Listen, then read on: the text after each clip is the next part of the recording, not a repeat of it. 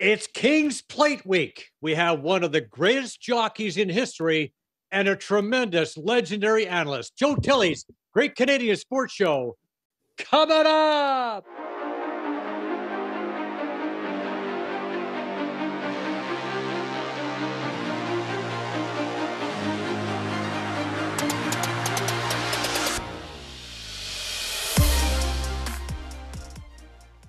Welcome to the program. Our guest today, well, he hails from Toronto. He is an original host of the Racing Network, a member of the Woodbine Thoroughbred simulcast team for many years, 24 years broadcasting at Woodbine. He's hosted numerous racing shows on CTV, CBC, TSN. He's hosted the Woodbine Mile, Canadian International, Queen's Plate many, many times. He'll be on the mic Sunday for the 2023 King's Plate. Ladies and gentlemen, Jeff Bratt. And this man needs no introduction at all, but he was born in Oshawa, began riding at 17 years of age, 6,450 career wins, 88.5 million in purses. He was a top rider in North America four times. He is the first jockey to win 500 races in one calendar year. He was a four time winner of the Queen's Plate, an eight time winner of the Woodbine Oaks, an Eclipse Award winner, a two time winner of the Lou Marsh Award as Canada's Athlete of the Year, he was a, he is a member of the U.S. Horse Racing Hall of Fame. He is a member of the Canadian Horse Racing Hall of Fame. He is a member of the Canadian Sports Hall of Fame, and he is a member of the Order of Canada. Ladies and gentlemen, the one and only, the legend, Sandy Hawley. Gentlemen, so glad to have you on the show today. Great, Great to be, be with you. Thank Thanks, guys. Now, Sandy, You've won the plate four times. Never won the King's Plate. You weren't around back in the fifties. But from a from a rider's standpoint, uh, what does it take to win this particular race? Well, you, you're going a mile and a quarter. These horses have never been a mile and a quarter before, so you definitely need a horse that relaxes in the race. You have a horse that's on the bit all the way, and the horse is going to tire himself out by the time he gets around there a mile and a quarter.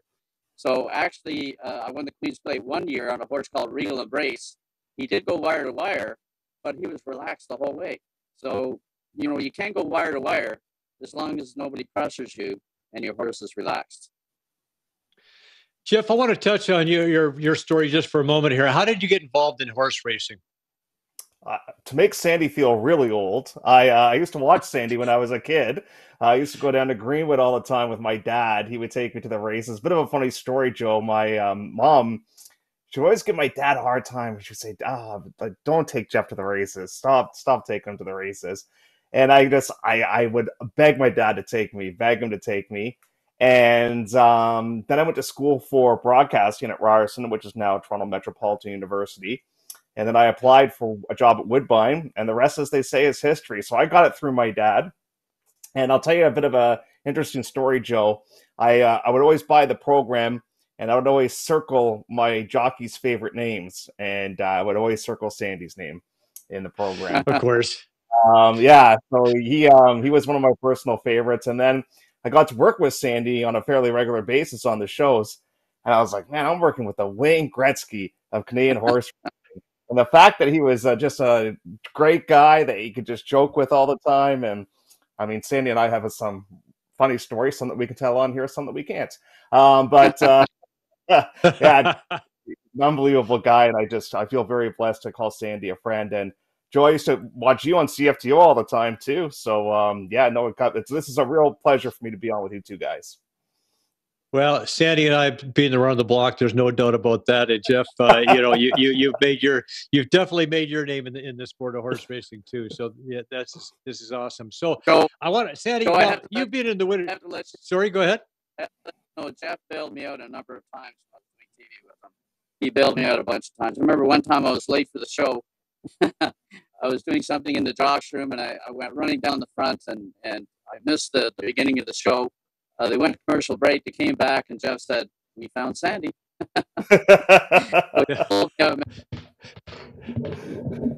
yeah. So okay, Jeff. Now, uh, 164th edition of the Queen's Plate. Uh, what's new this year? Well, the name, obviously, the King's Plate. Yeah, yeah. You have to put the dollar in the jar. We, are keeping track of that. I've called the Queen's Plate about a thousand times, Joe. So don't worry about that. yeah, uh-huh, yeah. Uh-huh. You, you know, this is a race in which, um, Joe, you're a big boxing guy, right? So I was kind of thinking about this coming in, trying to come up with an analogy for this. This is a heavyweight tilt that doesn't have like a Mike Tyson, doesn't have an Evander Holyfield, doesn't have a Lennox Lewis. It's got a lot of good horses, but not great horses as of yet. And I think from a betting point of view, that's a fantastic thing to have because the starting gate's going to be full. You're going to have 17 horses in it. It's a really wide open event. But remember last year, like Moira, she kind of came over with some flair because she won so big in the Oaks. And then, of course, she set a track record when she won uh, the Queen's Plate. But I, I, I just think this is a very level playing field. It's it's a it's a group it's like the AL East. It, it, it's a group of really good teams or horses. They're all over 500, and you can make a strong case for a lot of them. And it's um, from a betting point of view, I think it's a fantastic race. We're, we're going to get into the, uh, the the the analysis of the race a little bit later, but first of all, I just want to bring us back a bit now to 1973, Sandy. So, uh, you've been in the winner's circle for that uh, for Canada's biggest race four times. Uh, what was it like winning with the Queen and and and and uh, you know uh, you know in, in, attendance for 1973? Uh, and which which among your plate victories, which would you say was was the uh, the biggest for you? Oh, you know what, Joe? They're all really special. Anytime you ride in the plate, it's uh, it's pretty exciting and, and, and invigorating. But um, I'd have to say maybe uh, when I won on Regal Embrace, which was my last Queen's Plate, and you, you see Mr. E.P. Taylor there, and it was for Mr. E.P. Taylor. And 10 years before that, I'm at his farm looking for a job to become a jockey. Mm-hmm. And 10 years later, here I am in the winner's circle with him on Regal Embrace. And, and Regal Embrace was a really good horse, uh, trained by Mac Benson. And I would have to say him because of Mr. E.P. Taylor. Okay, so uh, um, unbelievable career you had, uh, Sandy. But back in 1973 and 74, 73 was a very special year. You know, that's the year you and Agent Colin Wick uh, went after Bill Shoemaker's record, and you ended up smashing it. You hit the 500 mark, and of course, you did that with a horse named Charlie Jr. And uh, what was the moment like when when you when you when you hit that magical 500 mark? Well, that's uh, that was definitely the biggest role in my career, reaching number 500. Uh, we almost rode Secretariat in his last race, but Eddie Maple ended up picking up the mount from Ron Turcotte when he got suspended. But so if I could have ridden Secretariat in his last race, that probably would have been the biggest role in my career. But um, yeah, yeah, I'd have to say when we won 500 races, that was our goal from the beginning of the year.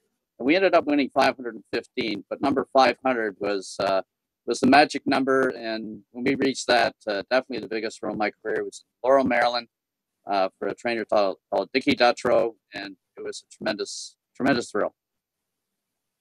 Well, about that time, some of the heavyweights in in the racing business at the time uh, weighed in on what uh, Sandy Hawley uh, meant to the sport at that time. Vic, if you could roll that that clip for us. When I was in high school, I didn't really have a big idea of what I wanted to do, so I started bothering my uncle. I says, well, when are you going to take me out for an interview to see if I can be a jockey? So finally, he called the National Stud Farm, and we went out, and I had an interview with a trainer by the name of Duke Campbell.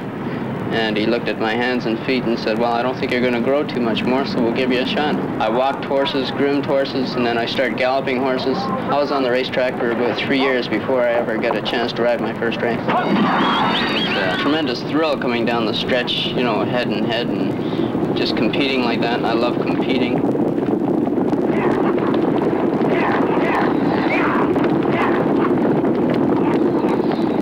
Love horses and I really enjoy racing and uh, I wouldn't want to be doing anything else. It's just amazing that he can be so mild and have the fierce competitive spirit that he has. He is also equipped with all the attributes of a good rider. He's an excellent judge of pace. Horses seem to relax naturally for him, and he has a great style and ability. Up till now, he did more than any other jockey, I guess, in history. He's only been riding, what, four years, four or five years. It's, he's still young in his career. If he keeps improving, he could maybe be the greatest rider of all time. He has that potential. I don't compare top jockeys uh, ever. I just say there's no better jockey than Sandy Hawley. he's got the courage to win races. If he rides eight races a day, he wants to win eight races a day, and this means a lot. He's got a lot of ambition. Sandy Hawley never quits riding a horse till he's past that finish line. Okay, so we heard from E.P. Taylor, Frankie Merrill, John Mooney, Lou Cavalaris. That's some very high praise, Sandy, from uh, you know from that particular time.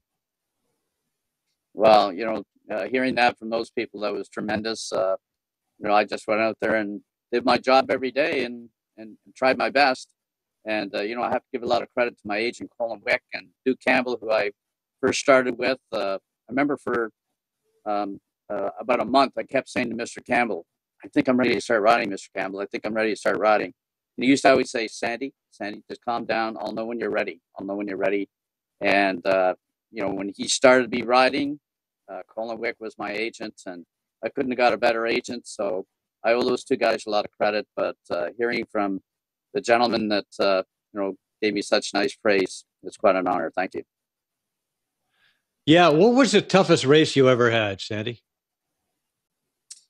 You know what? I, I used to ride a filly for Laz Barrera in California, and she was a stake horse. She was a really good filly.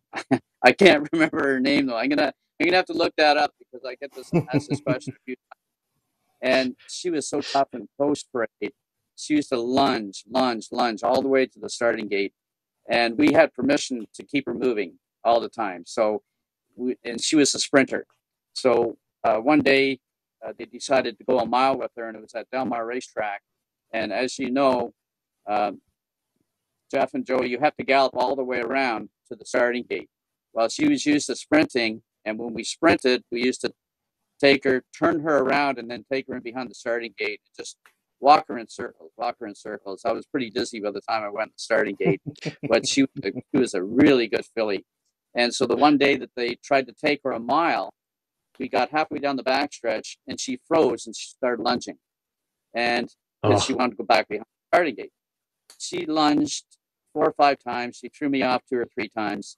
Finally, the stewards called the outrider and they said, Look, have Sandy get on the back of the pony, right around the starting gate, and just have the pony bring the filly around. Guess what? They never got her around there. They had to scratch her. So I say she's probably one of the toughest ones uh, I ever rode.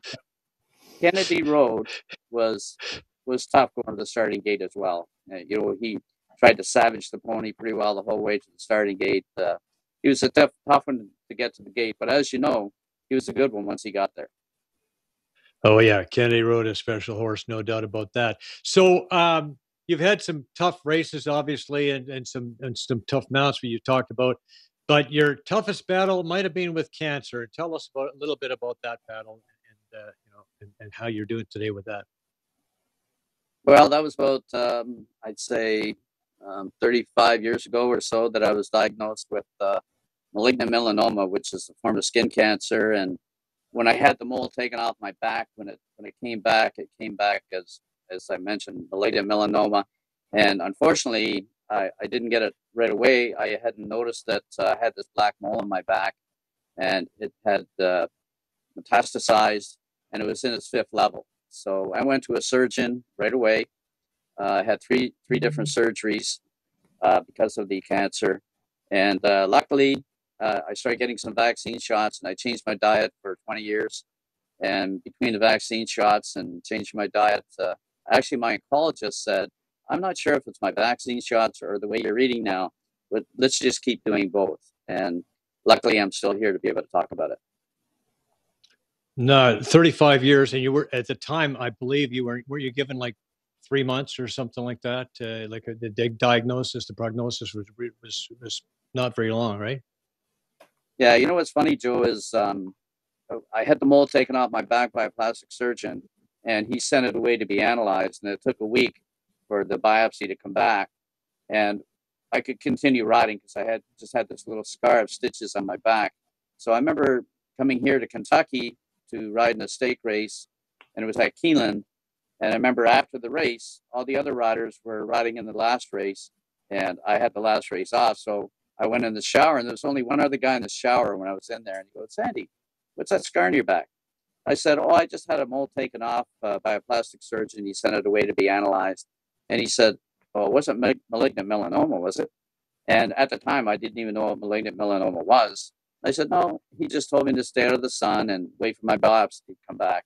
And he said, Well, you're lucky, man. If, if it was malignant melanoma, he said, I had a buddy that had that, and he was gone in two months, passed mm. away in two months.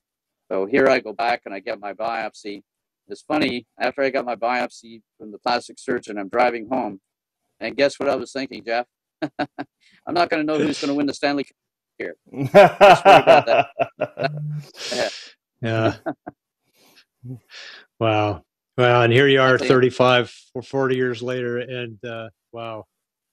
So that, that, that's a, it's a miraculous story, no doubt about that. Um, speaking of good stories, uh, I want to look back at before we move on to this year's play. Last year's play was pretty special, um, uh, and you know, Sandy, when we had you on the show, you and I both called it. We both liked that filly Moira, uh, beautiful filly named after and the Schitt's Creek character, played by Catherine O'Hara and uh, you know she exploded down the stretch and she pulled away for, for that uh, pretty easy victory in a race record time. Uh, how impressive was that win for you? First of all sandy what, what uh, stuck out the most for you about last year's race?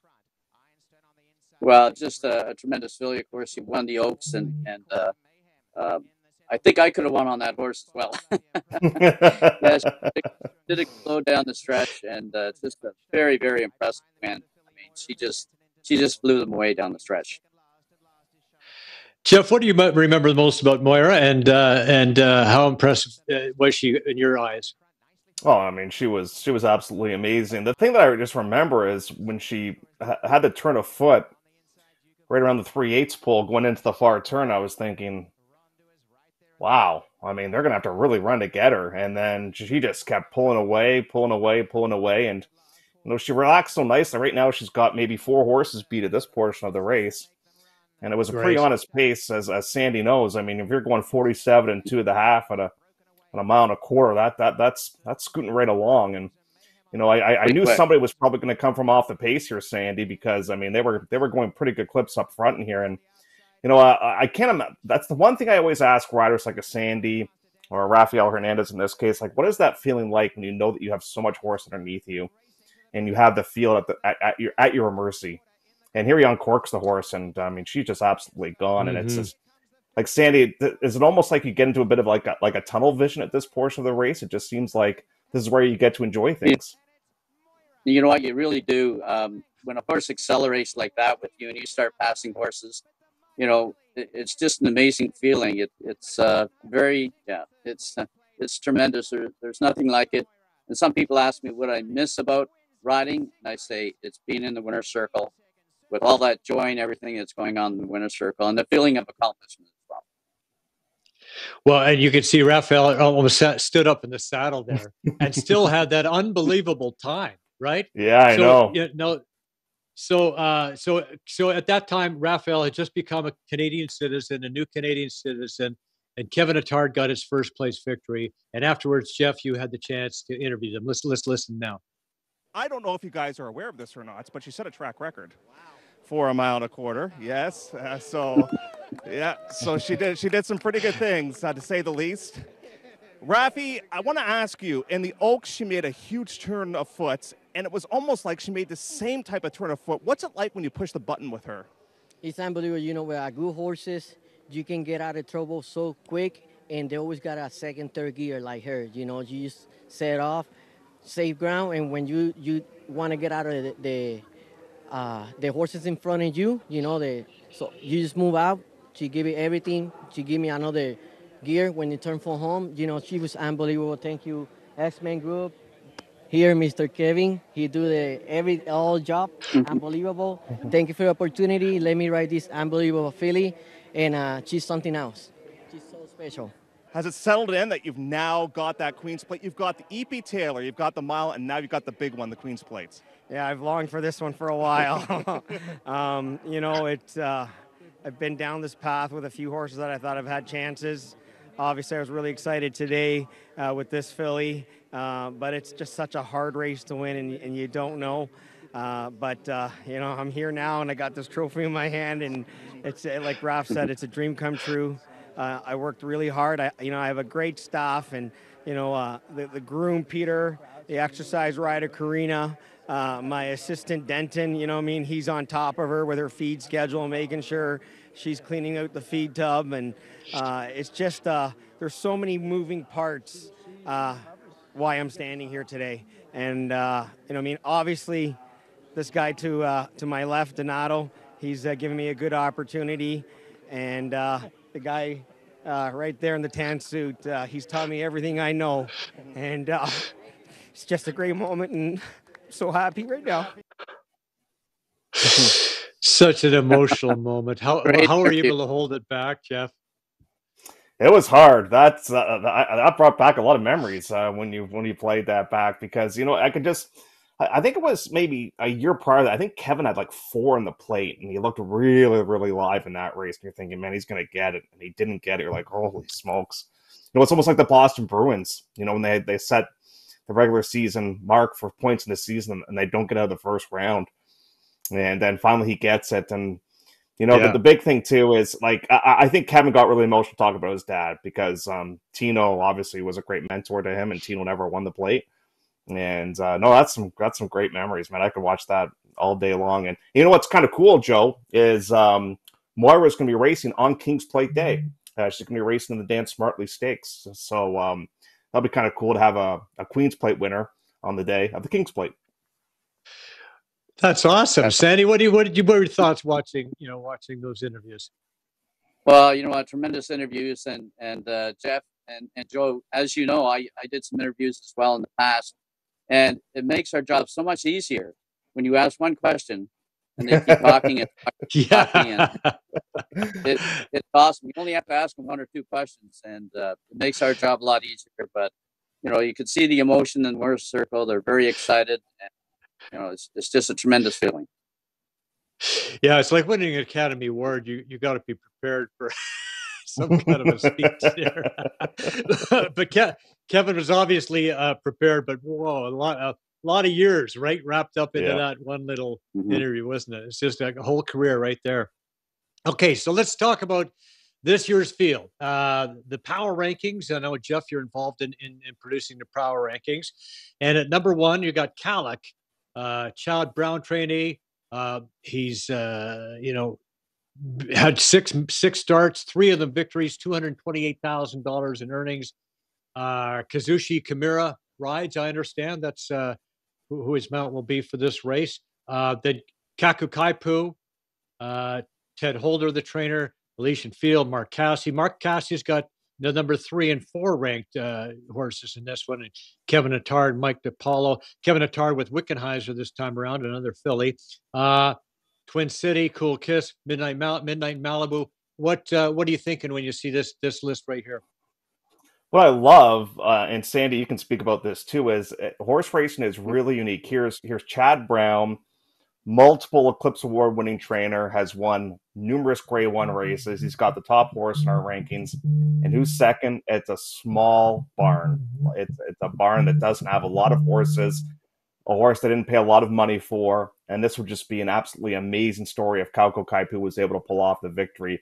You know, sometimes you can spend $1.5 million on a horse and the horse can't run a jump. Sometimes you can spend $1,500 on a horse, the horse runs like Secretariat. Um, that's one of the real stories for me in this race is, you know, you've got you've got like the Chad Browns taking on some smaller outfits, and you know the smaller outfits have got a great shot. So Sandy, for me, that's definitely one of the stories in this race coming up is the fact that you've got you know obviously Chad Brown's going to take a lot of support in this race, but mm-hmm. our, our, local horses have just as much of a shot. Well, that's true. Sandy, what do you see you know, there? I, yeah. Mm-hmm. Well, actually, I, I really like Kelly too. You know, he his last race may not have been his greatest race, but I think he was three for three this year before that race.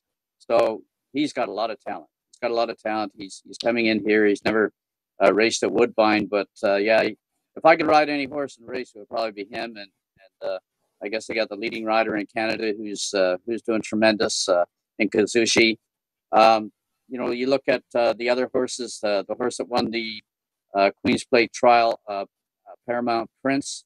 you know, you got to like him too. He went wire to wire. Whether they're going to give him an easy pace up there, uh, that's uh, you know, we'll find out uh, when the race runs. But uh, Party House, who was a favorite in the plate trial, he broke a little bit slow, and I think he would have given Paramount uh, Prince a hard time on the lead. You know, if he had have had a good break, but uh, you know, he had to come from last, and you know, it didn't uh, didn't quite finish the way they they hoped he would. But you know, you got to throw him in there too. He looks like a good horse, and can never leave out uh, the filly that won the Oaks, and uh, you know, she gets a five pound weight allowance, so it's really shaping up to be a great race. And as Jeff said, a great betting race as well.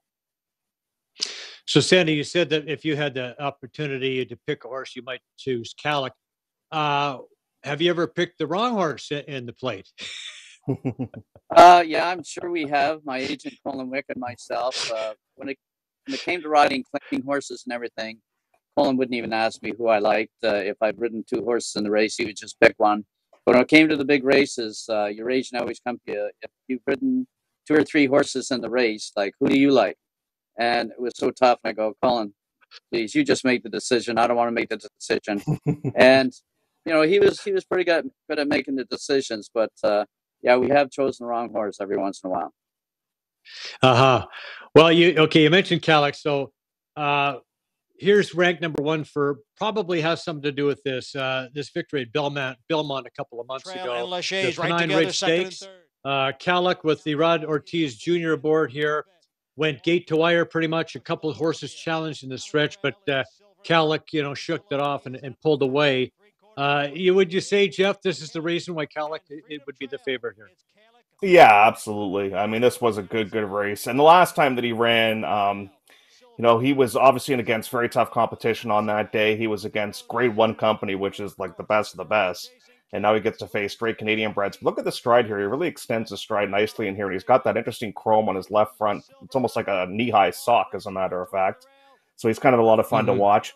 And Speed Horse have done very well in this race over the last several years. I know Moira obviously was the exception, our most recent race. But um, the one thing that I, I kind of want to toss the ball at to Sandy and in regards to a question here is the last time that he ran, he got really bad behind the starting gate, and I and I wonder if you know with the big crowd, if maybe that's a possibility. That I mean, I just hope he, I hope he doesn't run his race before the race begins. That's that's uh, somewhat of my concern. Have you ever had Sandy on big days horses sort of lose their marbles, for lack of a better term, before the race even begins? Yeah, that's a good point, Jeff. Uh, you know, hopefully he, you know, he doesn't act up like he did in the uh, the Belmont Derby. Um, like I say, you, you have to have a horse that's going to relax. If he's nervous before post time, he goes to the gate, he's all washed out. Sometimes they run the race before they get there. That's a very good point, Jeff. Um, I had a filly one time that I was riding in the uh, was the the international in Maryland, the Washington D.C. International, and when I rode her to the starting gate, it was for Maurice Zilber. Bunker Hunt was the uh, owner. And I'll never forget, she was going to the starting gate and she was all washed out. I thought, oh, she's run her race before she even gets there. And Mhm. unfortunately, you know, I, I kind of felt bad. They told me to put her on the lead. And I thought it was just going to be a rabbit for Dahlia, who is in the race as well with Lester Piggott. Mhm. But uh, Maurice Zilber told me, he said, this filly can really run. And, you know, if you can give her a breather, I think she can win the race. But I thought she ran, uh, ran her race before the race. And fortunately, for- fortunately for me, unfortunately for somebody else, a horse threw his shoe just as we were going to go in the starting gate. So we had to get off our horses. They took the horse back to the barn. Uh, they put the new shoe on. They came back, and we were off our horses for like 10, 15 minutes, uh, walking. Uh, the gate crew was walking our horses around. When I got back on her, amazingly, she was dry as a bone, and she ended up winning the race. Wow. But I think put in that starting gate, the way she was washed out, we probably wouldn't have won the race. Wow. So that that worked out. Somebody blew a shoe, and that uh, and that worked out perfectly for you, didn't my it? Yeah. Okay, so the number two ranked horse in this race, uh, I is wait, sorry, is it Kalik or Kalik, uh, Jeff? What's the proper pronunciation? Uh, you say it, you sort of say it fast. Click, click. Kalik, Kalik. Okay. Yeah, just say it fast, and then nobody Click- nobody notices. Like click your heels, click your heels. There you go. Okay, click your heels and blow, blow a shoe.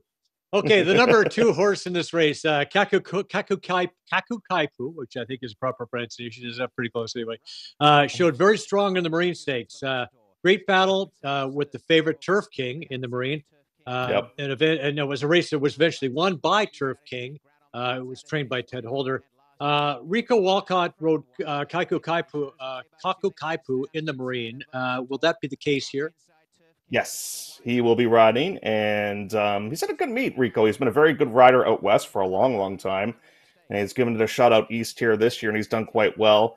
Uh, this was a good run because um, this was the first ever attempt going around two turns. Uh, Turf King was a Chad Brown horse, as a matter of fact, and um, it looks as if uh, Kauko Kaipu is going to win it, but the horse on the inside battles back to win it, that being Turf King. The, the real tough thing that uh, Ted Holder had to work out in here was does he go to the plate trial and then to the plate, or does he go right from the Marine to the plate? So this is a horse that's had a lot of time off and a lot of works uh, getting ready for this race. So he seems to be peaking right at the right time. You know, they paid just ten thousand dollars for this horse. Uh, It's just a, Wow. just a tremendous story. And um, look what he's gone on to do. He's he's made a lot of money at this portion of the race. Now, obviously, the distance is a bit of a question mark, but it's a question mark for a lot of horses in this race who are going to be able to get them out a quarter in here. But um, he seems to be sitting on a pretty good race right now at this point. I saw him school just the other day. It's amazing, Joe. Um, one of one of the perks of my job is our our studio overlooks the paddock area, and you get to see these horses. They they sometimes school at eleven o'clock or eleven thirty prior to the race is starting. I saw this guy come over, and it was Kauko Kaipu, and I said, "Man, he's kind of he's kind of turned into a bit of a man all of a sudden. Like he's Uh-huh. the two year olds to three year olds, they they just some of them don't change. Like some of them from a physical point of view, they don't change. But he's kind of filled out a little bit. Um, he just he looked good. I, I I was really pleased with what I saw. So I've got my fingers crossed he's going to run a good race. He's growing up right between right before your eyes, eh? Two hundred twenty-four thousand dollars in earnings so far. Uh, that's a nice uh, that's a nice turnaround from uh, for a ten thousand dollar horse. That's a pretty good return on your investment, I would say. Sandy, were you impressed? Uh, it's, it's tremendous. And you know what I liked about him too is he lays just off the pace. He's going to have a perfect spot uh, in the Queen's Plate. He's probably going to be like laying fourth or fifth. And if it is a fast pace, he's probably going to pick up the pieces. So, yeah, it is turning out to be a, a great betting race, and I'm looking forward to watching. it. So at Twin City, who's been in the money uh, seven out of eight races, was also in the Marine Stakes. Unfortunately, he was seventh out of eight in the Marine. Uh, any chance that he can bounce back in the plate, Jeff? You know, he's um he's been a bit of a puzzling horse this year. He he's a big horse. Like you look at him, he is a like he is a linebacker. You want him like the Argos should draft this guy. He is um, he's a he's a, he's a big big boy. And um you know, he won the King Corey. Then in the Marine, what happened there was um I was talking to Stu Simon. He he did not wear a tongue tie in that race and he um he he cut off his breathing a little bit and um that's Huh. why he didn't really run a jump there. So they put the tongue tie on him and the play trial stakes, and he ran a whole lot better to finish in third. So um, he ran better. He's going to have to run even better in the plate. This would actually be a really interesting story to see Boulanger win the race. Now, a member of the Canadian Horse Racing Hall of Fame. He, he's lucky to be alive, Gary Boulanger. He was involved in a very serious spill early on in Mhm. his career, Mhm. but um, you know that would be a kind of a tremendous story. You know, a guy in the twilight of his career if he was able to pull off a victory like that. But you know, he's he'll get the distance. Um, I don't know how quickly he'll get the distance, but he'll get the distance for sure. Um, but um, he's definitely he's he's I think he's back on track for sure. Right. And Kaku Kaipu, uh, two wins in seven seconds in 11 starts. So Kaku Kaipu might be a really good place bet. Yeah. Well, that's an interesting thing, Joe, that you bring that up because that was kind of the bad rap against him, and Sandy knows this very well. Some horses, they're herd animals, and, and they don't want to pass, you know. And um, that was that was the thing with him last year. Like he would be a wonderful check runner, but he was so frustrating because he just he wouldn't win. But now all of a sudden he's got that that knack down for winning, which is nice to see. right. Yeah, and, and a little bit bigger, a little bit uh, more manly, as you mentioned. Yep. Okay, so uh, we have we have a, uh another filly this year that's drawing some attention. Woodbine Oaks winner uh, Elysian Field, trade by Mark Casse. Uh, Sahin Civaci, the rider, I'm is he? I'm sure he'll be right in the in the uh, plane. Is that correct? Correct. Okay, so um, Sa- Sahin's first start as a jockey ever in the Oaks, and uh, he gets the win in this race. Uh, Wickenheiser, a stablemate of uh, Elysian Field, also in that race. Uh, so she's expected to run the plate.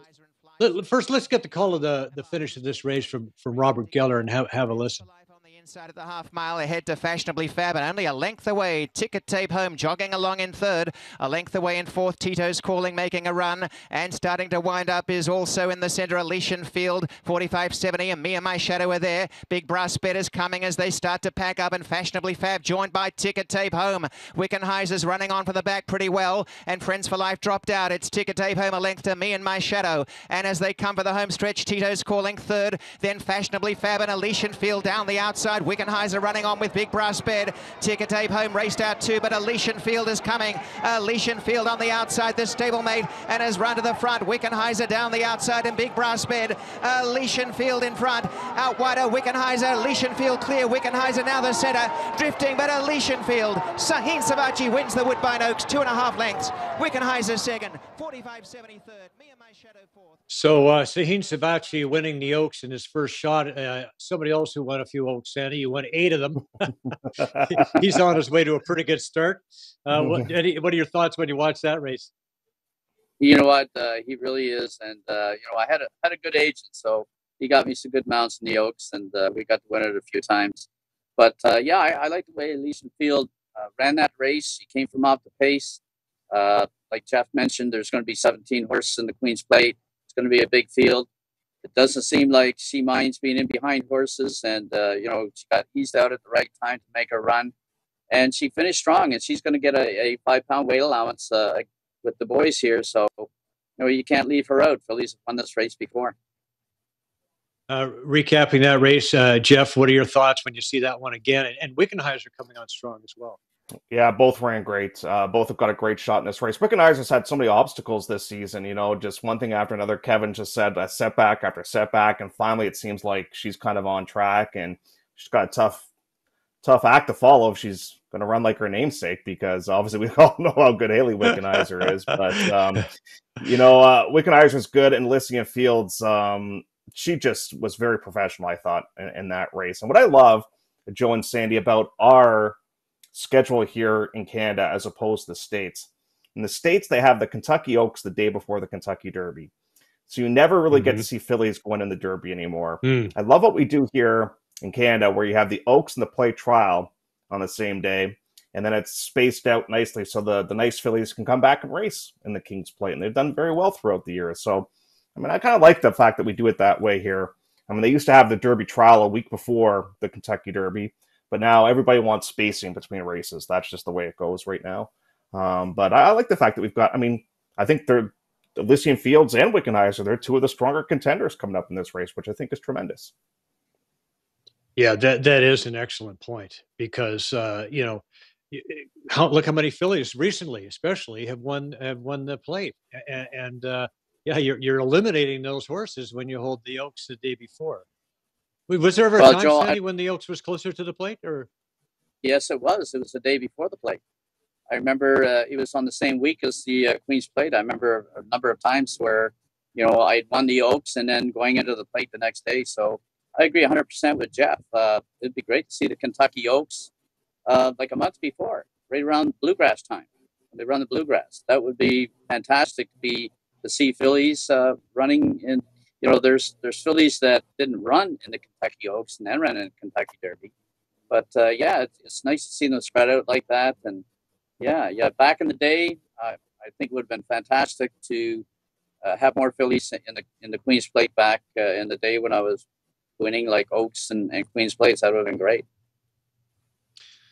So what we've seen a lot of, uh, you know, quite a few Oaks winners win, winning the plate in, in, in recent years.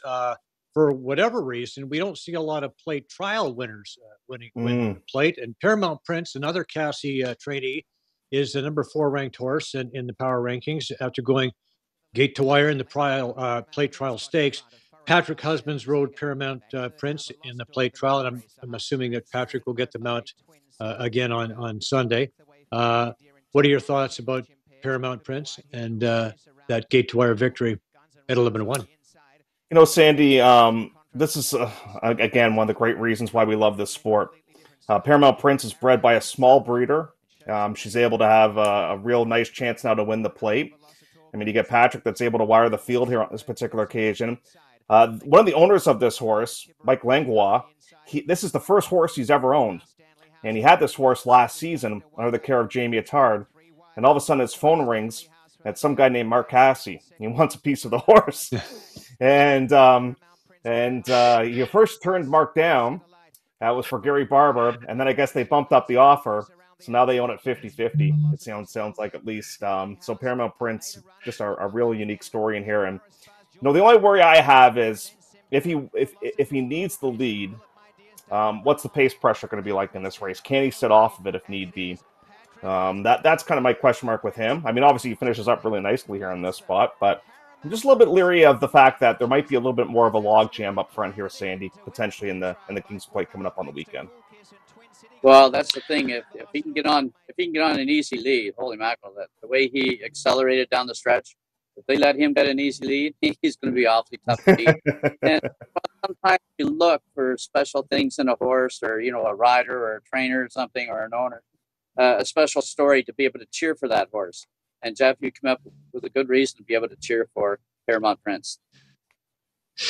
Yeah, and you know, I, I think what Big Red Mike was the last uh, plate trial winner to win. The, mm. Is that what it was? I think, yeah. So, I so think it's, you're right. it's been quite a long time, and and and, uh, and so Casse was. I remember the interview what he did after the uh, the Oaks, and, and he seemed to be really high, high on Elysian Field, and mentioned the fact that that Elysian Field had a better time than the boys did in the plate trial. But you know, you saw that Paramount Prince, like you know, they challenged. He got he got challenged at the top of the stretch, and it was almost like he looks over his shoulder and says, "I, I don't think so." and he, he, you know, you talk about having another gear. So that was that was pretty impressive, and I, I just you know looking at that again, it's what, what, do you think? What do you think, Sandy? He looked like uh, Tribal Chief winning the uh, the Legends race. I mean, uh, horses came to him, and I was able to give him a breather. So you know, if you give a horse a breather, and I know Patrick Husbands had that opportunity, um, shame on you. you. You, know, he's going to accelerate again, and that's the same thing as when I rode in Billary when she won the international.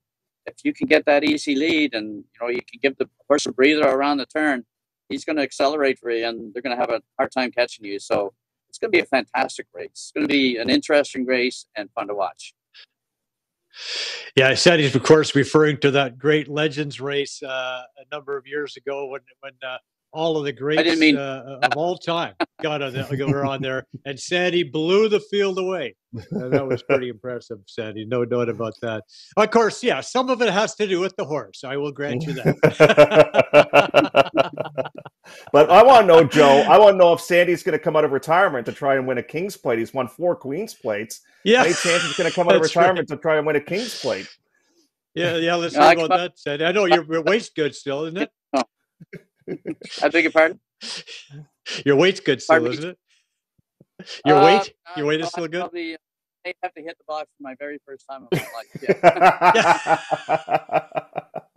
But you know what's crazy is when I was getting ready for the Legends race, Laffit Pincay called me, and I had a month to get ready. And I lived across the road from Windfields Farms. And I remember when I was riding, I used to lose a lot of weight when I got on horse in the morning and rode in the afternoon. And I think that's what kept my weight down. And I weighed 125 when Laffit called me. I had a month to get ready. I started getting on horses over at, at uh, Windfields Farms across the road from where I lived in Oshawa. And by the time I went down to ride in a Legends race, I weighed 108. So getting on those horses in the morning, the weight just flows off me. So uh, you never know. I, I might have to. Might take me a couple of months to get back in shape. Well, so forget about Weight Watchers. Then uh, the the key to losing weight is get on the back of a horse, and it'll just come right off you. Yeah, yeah, That that's pretty awesome. So, yeah, yeah, yeah. Well, I, I didn't you have? I remember stories. Of, didn't you tell me stories that, that uh, you know you'd see guys uh, heading to the hot box and everybody else? You'd be you'd be chomping on a hamburger or something. or was that Pat? Was that Pat Day? Maybe. no, that, that was me. That was me, but it wasn't a hamburger. It was a fudgicle. My fudgicle kept melting. So maybe that's why I didn't have very many friends. well, that's pretty awesome. So, okay, we we sized this up a little bit. Uh, Jeff, I, I know you're, you don't like to pick the winners, but do you, you have a, who who do you think is going to go off as a favorite here? I, I think Kalik's going to go off as the favorite. Uh, I I think he will be the favorite because the Chad Brown factor. You get Kazushi, um, and his last, I mean, his last race is a bit of a toss out in there. Um, I'm leaning towards Wickenheiser. I don't know if I'm going to pick her on top, but I'm going to pick her somewhere for sure because I think she's going to go off at a decent price, and I think she'll get the distance. I think for the first time this season, things are kind of lining in her direction, but um, but I, I definitely respect Kalik, and I think I think the horse that bounces back with a much better race is Stanley House. We haven't touched much on him, but um, mm. he um, he did not have a good trip last time. As Sandy said, he kind of broke a little tad slow and it was almost like he wasn't interested. And all of a sudden, Javier Castellano is going to come up and ride. And, you know, a bit of an interesting story, Hmm. Joe. The last um, Derby winning rider to come back and win the plate was Flavien Prat. And of course, that was a controversy one Mhm. because that was uh, Country Grammar, who uh, finished second against Medina Spirit, then got the win uh, once uh, once all the investigations took place. And then he came back and won the, uh, the plate itself with one bad boy. But I'll tell you, Sandy, I'm, I've been impressed with Javier. You know, he, he's kind of rejuvenated himself this season. You know, he, he won the Derby with Mage. He, he won the Belmont with Arcangelo. It's a real nice guy too, and it just seems like he's he's somewhat back on track. I guess you could say. You know? You hit the nail on the head. He he is a fantastic guy, and he's the type of guy that you like to cheer for too. And he he has he's researching, and you know you, all you have to do is win a couple of stake races, and all of a sudden people start start putting on more horses. And as Joe mentioned, all you need is a horse. You got the horse, That's you got it. shot to win it. And you know what? I like Hut well because he was actually the favorite going into the plate, he had a bad break coming out of the starting gate. Uh, like Jeff said, he broke awkwardly and uh, had to come from last. And you know what? If he's a bit of a price, I wouldn't be afraid to bet on Party House. So, is that your gut, uh, Sandy? Your gut feeling that uh, that party house is going to be there? Well, if if I still had a horse to ride in the race, it'd be Kabal- Kabalik um, because of his form before his last race. And as Jeff mentioned too, have a, have an eye on him when he's in post grade, and as he's Mm. going out to the racetrack too. If he's bouncing around, he's all washed out or whatever, he might run his race before he gets there. So that'd be interest something interesting to keep an eye on as well. But what about the Swiss So pick? We need the Swiss pick here. Enough of us. We Well, need- we okay, need- okay. You know, you know what? I, I- I just, you know, I, I just watching it again. Elysian Field to me is, is Okay. to me that's there's my Swiss pick. There you go, Elysian Field. And for my exactor, Elysian Field. We'll go with the top three favorites here, so I'm not really going off the off the board or anything like that. But Elysian Field, Kalik, and uh, Kakukaipu. That's my pick for the exactor box and the tri and the triactor box. Right. So uh, there you go. That's my my my my That's- my that's Swiss pick, pick. and, and a lot of people lost money on the Swiss picks before. So I wanted to ask you, Joe. I've been a long time viewer. Before we go, how did you get the nickname the Swiss? How did that happen? okay, so so that's uh, you know, okay, that's not that complicated. So my real name is is Tillapa, right? My my, Okay. my real la- my real name is Clarence Joseph Tillapa, and at one time when I was working out west, I used to go by CJ, and then I worked by went by Clarence, and and then uh, because my producer, the uh, news director at the time, would like me to go by Clarence. And anyway, when I moved to Toronto, um, my uh, Pat Marsden uh, Yep. said to me, you know, after after I met, had the meeting with uh, Douglas Bass and Ted Delaney, and and, and Pat said to me, he said, uh, "What's your middle name?" And I says, "Joseph." Joe, and he says, "What do you think about calling yourself Joe Tilley?" And I said, "Well, if it means coming to Toronto to work from Lethbridge, you can call me whatever the hell you want." Uh, uh, but but I guess the point being that the name Tillapa is a Swiss name. And so I used to Ah, okay. I used to go by I but I mean Ukrainian would have worked too, but you know, Joe the Oop didn't seem to have the you know the the cachet and, and some people might find find that offensive. So Joe the Swiss is what I went with back in the day when there was a Jimmy the Greek and, and everything else. So, ah, uh, so uh, right, so so uh, I used I used that for my for my pick. So there's the story. That there we go. Your Joe the boxing- Swiss. well, when you were a boxer, Joe? Was that your boxing name as well? Right. No, my boxing name was Piston Fists, my nickname. but I was CJ Piston Fist Philippa, Piston right? Right. Piston Fist. Good Yeah. so uh, yeah, that's the story there. Uh, and, uh, thank you guys so much for being for taking this time to join us today. That was a blast, and uh, we we will get together and do it again uh, next year, and it, it'd be so much fun as we always do. And, and uh, Sandy, great to see you again, my friend. You're looking fantastic, and I wouldn't be surprised to see you on on some the back of some. Uh, some horse next year in, in, in the in the King's Plate because that's one race you have never won. Joe, can I tell you one quick story about Jeff again? If we got time, one quick story about Jeff. Yeah, yeah, yeah, yeah. Of course. Make sure it's clean, Sandy. No, I had a handful of peanuts before I went out to do my hit to uh, say which horse I was going to pick down on the apron. And I washed it down with some water and everything. And I, I thought I had my throat cleared. I get down there and I go to do my pick. And Jeff Bratt says, uh, All right, Sandy, who do you like in here? And I go, I couldn't talk peanuts were in my throat. And Jeff said, Sounds like Sandy is all choked up about his pick. So, Jeff, me out.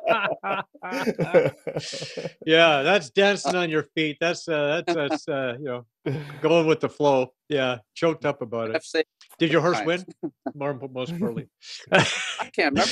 Listen, they, they, had to do with my pick. probably, probably. yeah, yeah. There you go. But uh, yeah, so there's something to be said too. Uh, in, in, in waiting until the last minute before you make your before you lay your bet down, because you guys talked about, hey, we're gonna have a look at you know some of these horses and, Yeah. and, and have they run the race before they get to the to the gate and, and uh, those types of things. So yeah, yeah, quite important. Thank you so much for being in the program, and uh, we'll uh, we'll see how things go, and and uh, hopefully folks uh, enjoy the races because it, it'll be a fantastic day on Sunday. Some amazing races there, of course, and and and the King's Plate should be a classic. Thanks, guys. Thank you, All Joe. the best, Joe. All right, more sports when we come back. Get ready for an exhilarating ride as Canada's oldest and most prestigious thoroughbred race enters a new era. Woodbine Entertainment proudly presents the King's Plate, North America's longest continuously run stakes race. Join us on Sunday, August 20th for the 164th edition of this prestigious $1 million race. It's an event like no other, a symbol of true excellence in Canadian sports. You too can rule the day of fashion, food, and world class horse racing at the King's Plate, August 20th. Tickets at kingsplate.com.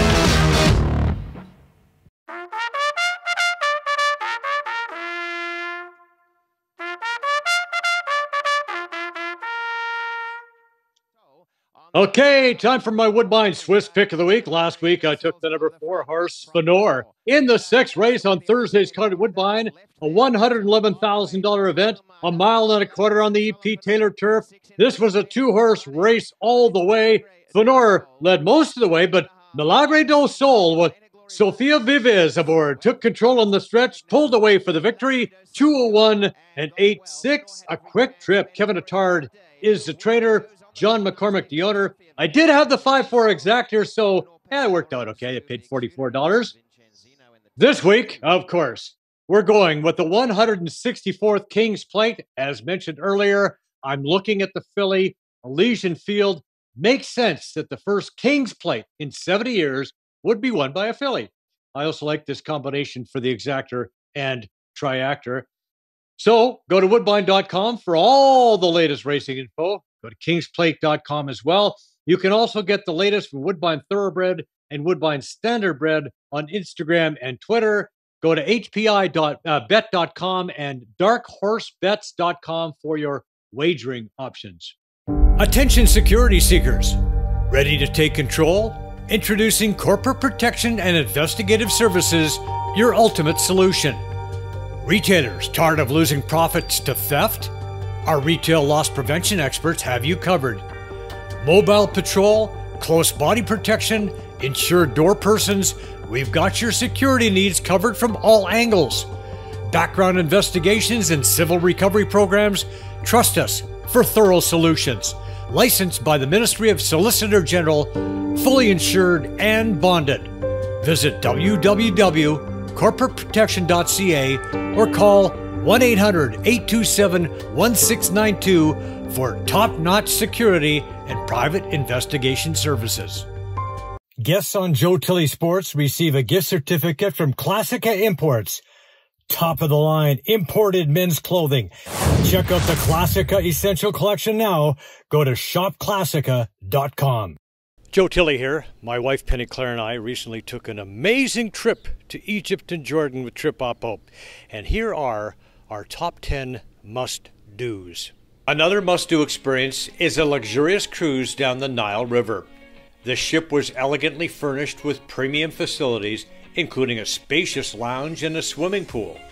The cabins were comfortable, well appointed, offering panoramic views of the Nile River and the surrounding landscape. I would highly recommend that you book your next trip through TripOppo. Call them today.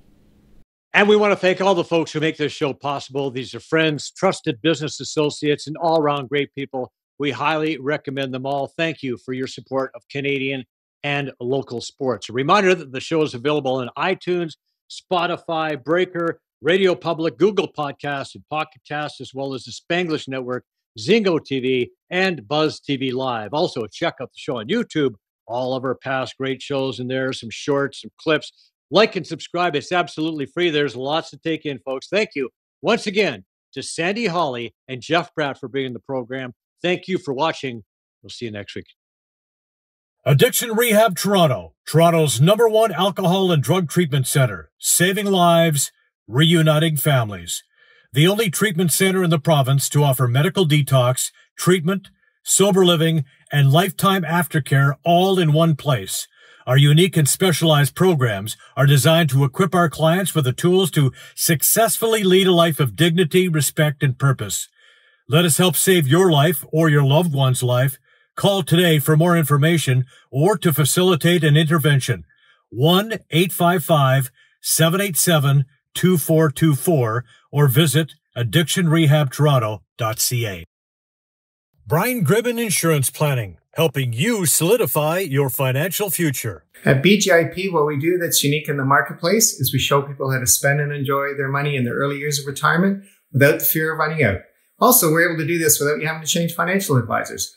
Please look us up at bgip.ca today. Let's book a 30 minute phone call to see how we can bring value to you and your family in your planning. Call Brian today for all your retirement needs. We did. 905 686 5678. MNP, a leading Canadian national accounting, tax, and business accounting firm. MNP proudly serves and responds to the need of their clients in the private, public, and nonprofit sectors. Through partner led engagements, MNP provides a collaborative, cost effective approach to do business and personal strategies to help people and organizations to succeed across the country and around the world with local offices in Oshawa, Mississauga, Burlington, and more. Their team is here to support you. Visit mnp.ca today to learn more. Do you want to buy or sell a home? Could 31 years of real estate experience help you? Why not speak to an amazing team that loves to overpromise and overdeliver? Aldo has a tremendous team of experts on staff. They are committed to making your next real estate transaction smooth and comfortable. Call 416 GET ALDO or visit getaldo.com.